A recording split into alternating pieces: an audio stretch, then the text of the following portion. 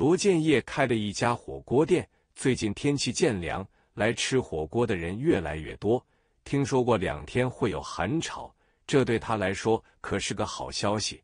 罗建业早已忍不住开始想象那宾客齐满、到处氤氲浓香雾气的场景了。在内厨巡视检查了一圈，罗建业腹内的馋虫蠢蠢欲动，他要给妻子打个电话，问问他晚上吃什么。一拿出手机，妻子周姨的电话恰巧打了过来：“喂，老公，不好了，小玉丢了。”罗建业和周姨结婚四年，生了个儿子，名叫罗玉，今年三岁半，才刚上幼儿园。周姨说她今天照常去幼儿园接孩子，结果没见到人，老师说是被孩子奶奶接走了。周姨一听就急了，孩子根本没有奶奶，罗建业的母亲早几年前就已经去世了。我现在在警察局已经报了警，你赶紧过来。罗建业反应了几秒钟，然后扔下电话往那儿赶。一路上差点闯了两个红灯。儿童失踪是紧急案件，尤其是像这样涉嫌拐卖的案子，警方很快调取了幼儿园门口的监控录像。画面中显示出一个上了年纪的女性怀里抱着失踪的小玉，从幼儿园出来后，匆匆上了一辆停在路边的面包车。之后便扬长而去。这一切发生的很快，前后不到一分钟，很明显是早有预谋。周姨看着监控上的画面，再看看时间，跟他去接孩子的时间相差不过十分钟，几乎就是前后脚，这让他越发抓狂和懊悔。不过幸运的是，监控视频拍到了那个女人的正面，警方运用技术手段截取了面部画面，并且放大。做了清晰处理。当那个女人的相貌清清楚楚显现在屏幕上时，周怡倒吸了一口凉气，跌坐在椅子上。事发第二天，熬过了一个黄黄的夜晚后，两人的状态都不是很好。上班是没心思了，周怡请了假去公安局里等消息。罗建业收拾一番，去店里交代工作。这段时间他顾不上生意。打算暂时让店经理小周照看着点。小周听说了他孩子的事，任何言语安慰都苍白无力。他拍着胸脯保证自己会好好管理生意，让罗建业安心的去找孩子。哥，你放心吧，这里有我呢，绝对不耽误生意。孩子的事你也别太着急，有警察呢。现在侦查技术那么厉害，那人贩子肯定跑不了。罗建业点点头。现在警方已经掌握了很多关于女人和那辆面包车的线索。他相信孩子一定会找回来的。中午的时候，罗建业就接到了警方的电话，不过不是因为孩子，而是因为周姨，她被人给打了。罗建业急匆匆赶到医院，看见周姨头上裹着纱布，嘴角还有淤青，整个人狼狈的很。照顾他的女警官说：“他们是在红塘村的村口发现周姨的。我们找到了监控里的那个女人，她叫王凤丽，是红塘村的村民。今天本来是去了解情况的，结果一进村口就发现周女士倒在路边，还受了伤。我们就赶紧把她送来了医院。医生来给周姨做过检查，身上只是一些磕碰出来的皮外伤。”头部遭受过钝器击打，可能会严重一些，最好再做个详细的检查。鉴于周姨现在的身体状况，女警官让她先好好休息，等精神好一些了再到局里补录口供。孩子的事你们也别担心，我回局里看看，有消息就通知你们。警察走后，周姨从病床上坐起来。他知道罗建业现在肯定有一肚子的话想问，问他为什么会出现在红塘村，又为什么会受伤。建业，我知道你想问什么，我现在就告诉你，我全都告诉你。抱走小玉的女人我认识，我也知道她为什么要抱走小玉。周姨也是红塘村人，跟王凤丽不仅是同乡，还差点成了他的儿媳妇。红塘村是个偏僻的小村子，当年的打工潮带走了大批的青壮男女。周姨的父亲在他很小的时候就外出工作，头几年还会给家里寄钱，后来渐渐没了声息。村子里都传言说他在外面挣了钱，跟别的女人结婚成了家。周姨的母亲在流言中挣扎了两年，他们花光了所有的积蓄，手头的针线灵活又难以维持生计。终于，在一个寻常静谧的夜晚，周母把小周姨托付给了邻居王凤丽，只身离开村子，自此石头大海。王凤丽对外宣称，她收了周姨当养女，可说是养女。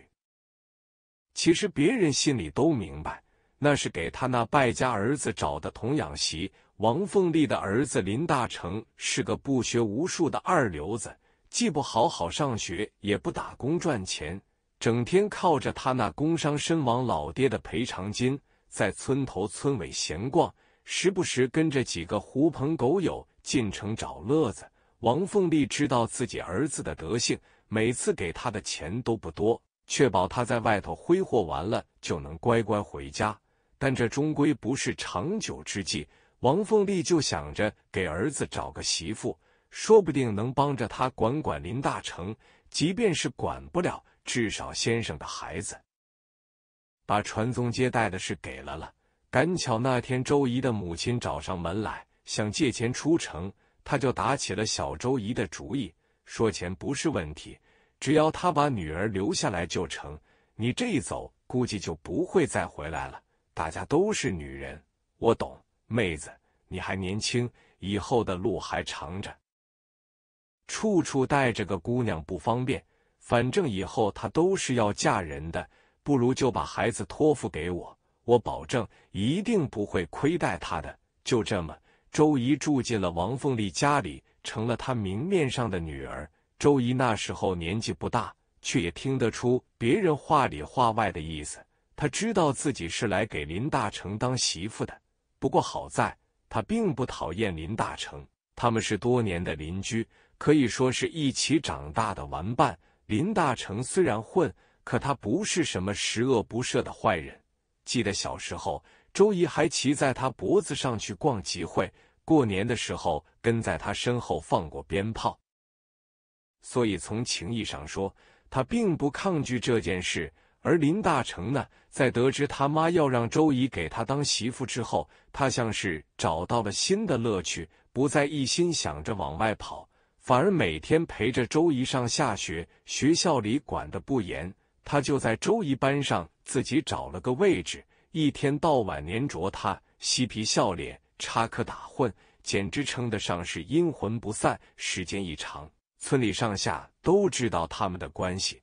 王凤丽这个口中的女儿，渐渐就变成了儿媳妇。这在红塘村并不是什么稀罕事。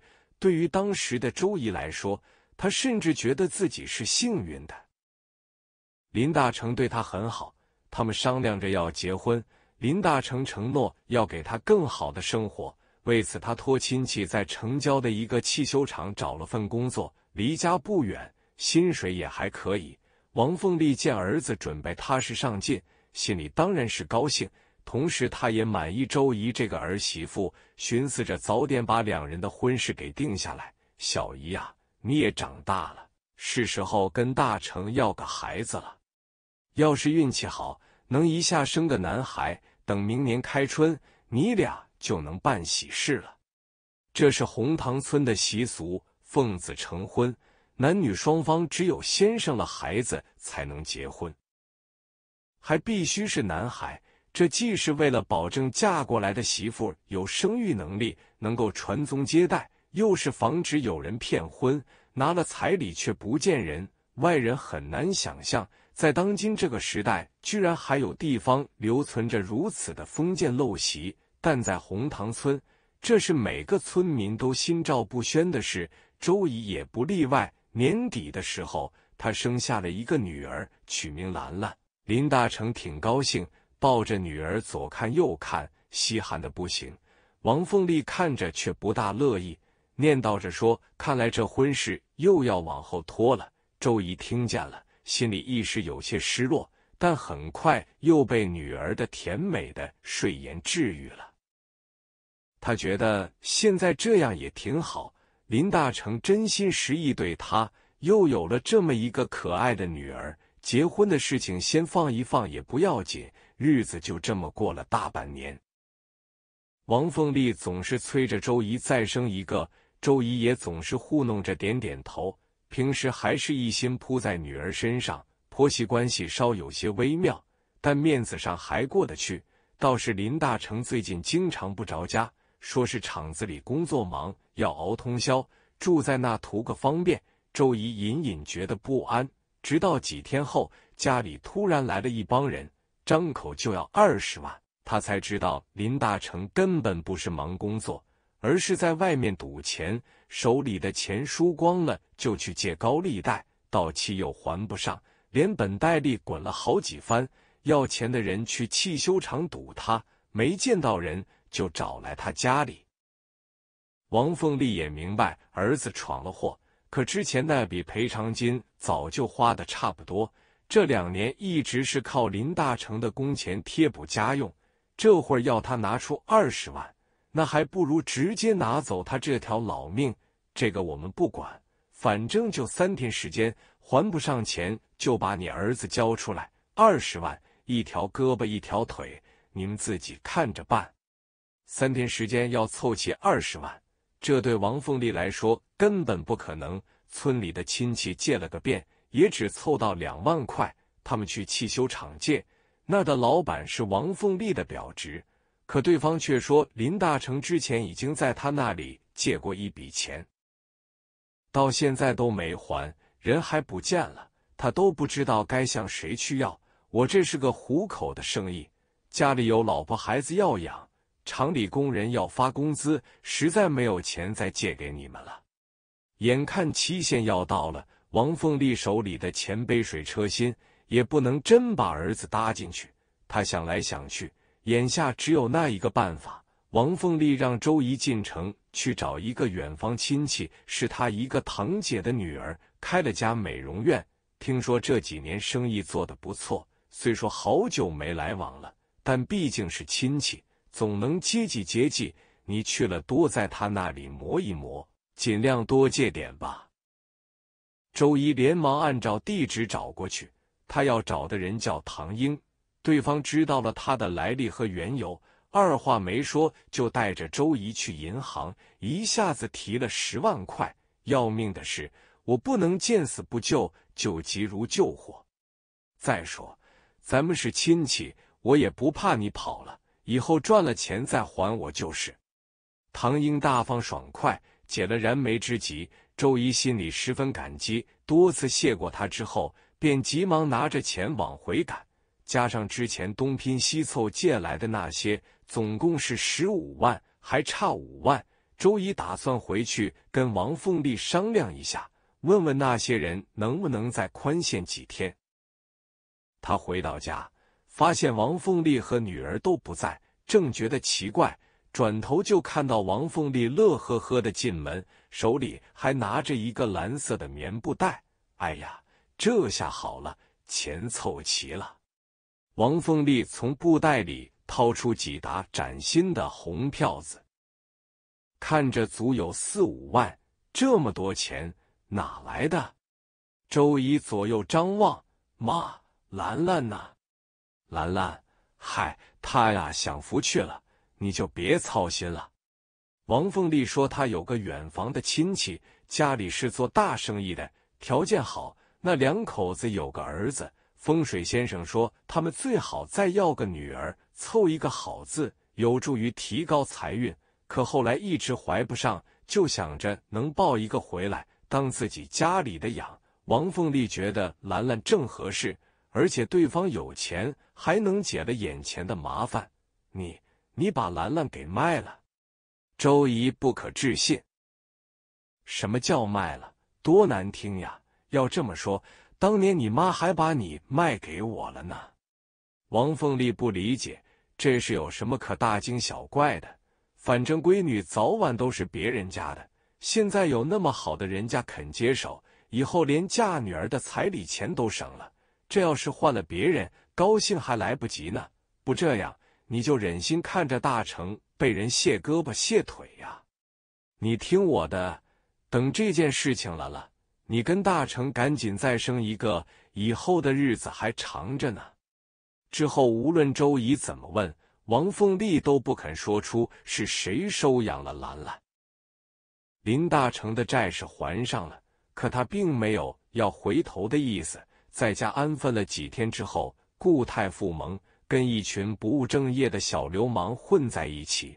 周姨还没从失去女儿的痛苦中走出来，王凤丽又把儿子的堕落归咎在他身上，说他要是能给林大成生个儿子，他就不会去赌钱，搞成现在这样。丈夫、婆婆、孩子，在这三方带来的痛苦、压迫和愤恨中，周姨撑不住了。和他的母亲一样，他简单打点行囊，在一个夜晚悄悄离开了村子。周姨在城市里举目无亲，唯一认识的人就是唐英。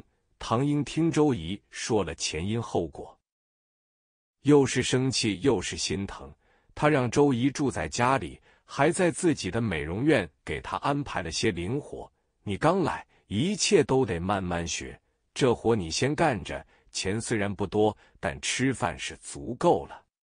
唐英还保证替他保守秘密，不会让别人知道他在这儿。在经历了一番事情之后，周怡的内心发生了变化。他见识了外面的世界，明白自己不能再像以前那样埋着头过日子，听命于别人的安排。他要自己养活自己，按自己的想法去过日子，去主宰自己的人生。遇上罗建业是一个新的开始。周怡收到第一个月的工资时，约了唐英出去吃饭，既是庆祝，也是想谢他。唐英说要带他去吃火锅，他有个朋友是开火锅店的，说不定还能介绍他们认识认识。罗建业是个传统意义上的好男人，他谦逊、礼貌、有亲和力，年龄比周怡大八岁。所以很会照顾人。他知道周怡一定经历过某些不愉快的事，但他从没问过。即便后来他们谈恋爱、结婚、有了孩子，对于周怡不愿意提及的过往，他绝不逼问。每个人都会有自己的小秘密，我理解。周怡感激他的尊重和理解，但他心里还是充满愧疚，因为他的小秘密。并不只有一个。在离开村子的两个月后，周怡发现自己怀孕了。她急匆匆与过去诀别，没想到居然神不知鬼不觉地带了个尾巴。她很害怕，既不敢去医院，更不敢让别人知道，尤其是罗建业。那段时间，他们的感情逐步升温。如果对方知道她怀了别人的孩子，一定会跟他分手。那么，周怡再一次燃起的希望就会落空了。他绝对不想再经历一次，他要想个办法瞒天过海。碰巧那天，罗建业约朋友一起去 KTV 唱歌，中途喝了很多酒。给他打电话的时候，已经连话都说不利索了。周怡带着他去酒店开了间房，把人扶到床上时，忽然计从心来。他睡在罗建业身边，让他误以为他们已经发生了关系。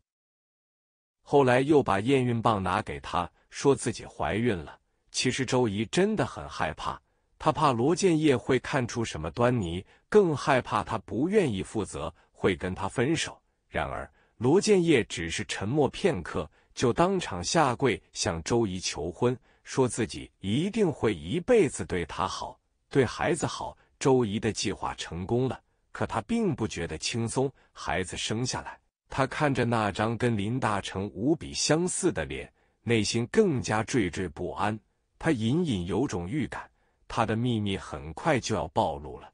可是没想到，第一个发现秘密的人竟然会是王凤丽。王凤丽进城办事情，无意中看见抱着孩子的周怡，她悄悄跟上去。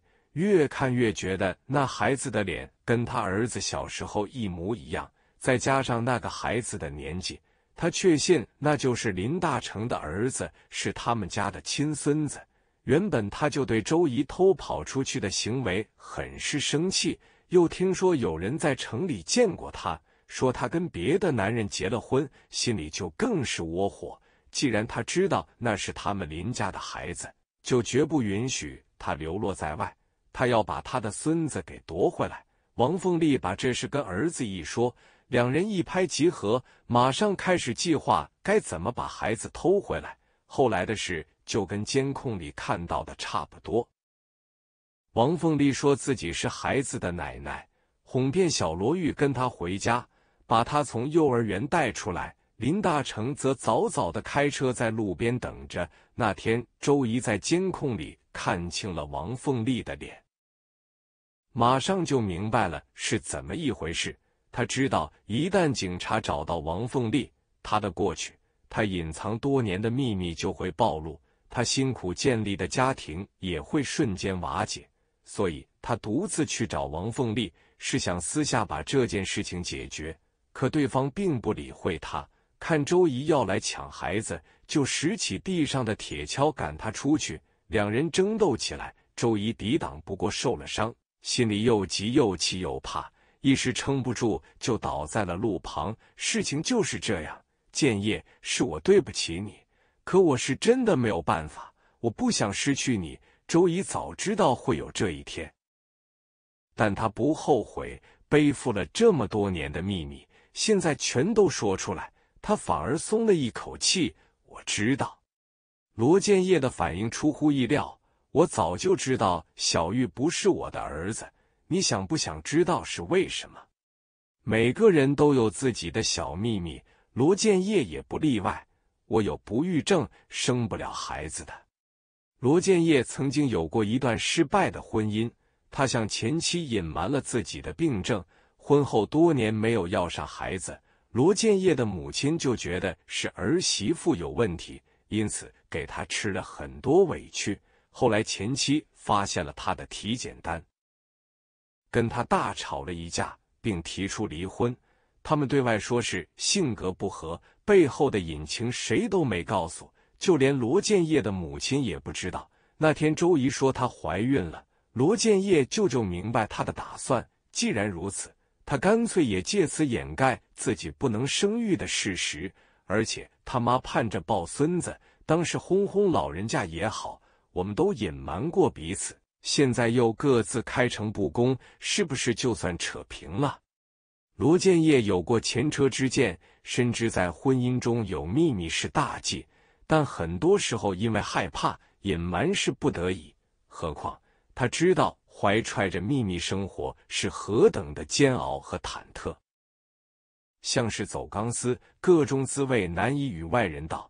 他不怪周怡欺瞒他，毕竟这些年他们之间的感情是真的。他也不想因为以前的过错而影响未来的生活。其实这么多年。我早把小玉当成自己的亲儿子，我们一家人不是一直很开心吗？等找回了孩子，我们还可以像以前一样继续开心的生活下去。周怡震惊的说不出话，他正要细细品味这种失而复得的喜悦，却意外的接到了林大成的电话。林大成，我们能谈谈吗？周怡，以前的事我们就不说了。林大成显然没那个心思。你听着，我可以把儿子还给你五十万，你给钱我就放人。林大成根本不关心罗玉是不是他儿子，他之所以带走孩子，只是为了向周怡敲一笔钱。这两年他丝毫没有长进，反而变本加厉，日日泡在赌场里。钱没了就去偷，去跟赌场里的大哥借，到现在已经欠了几十万。要是还不上，他肯定会被那帮人给弄死。今天警察已经找过来了，妈被他们带走了，我得赶紧离开这儿。你快把钱准备好，今晚送到村口，要不然我就把你儿子卖了还账。